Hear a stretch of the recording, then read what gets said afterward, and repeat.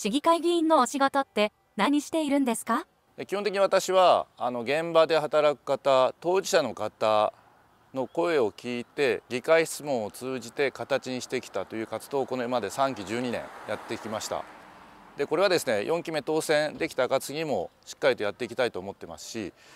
私の基本スタンスはやっぱり働いてる方、えー、生活者の声を代弁をして市政に届ける届けるだけじゃなくてですね形にしていくという活動それが市会議員の役割かなと思ってます。まあ、一番身近にある市会議員が実は一番遠いんじゃないかと感じてましたので皆さんにもっともっと近づいていけるように議員活動を見える化あるいはですねお話を聞きに行くこういった活動を通じてより市会議員という仕事をですね身近に感じていただければなと思ってます。